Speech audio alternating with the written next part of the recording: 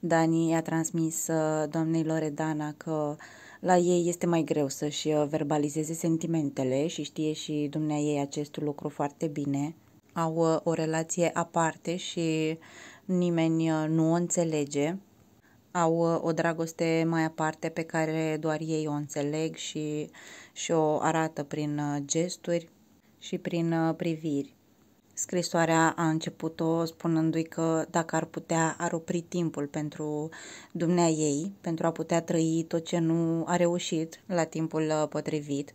Doamna Loredana a început instant să plângă, a continuat uh, Dani spunând că ar opri timpul pentru a nu îi mai apărea fire albe mai devreme decât ar trebui, pentru a nu mai simți că a eșuat ca mamă atunci când uh, a avut Dani acea perioadă mai puțin plăcută din viața lui.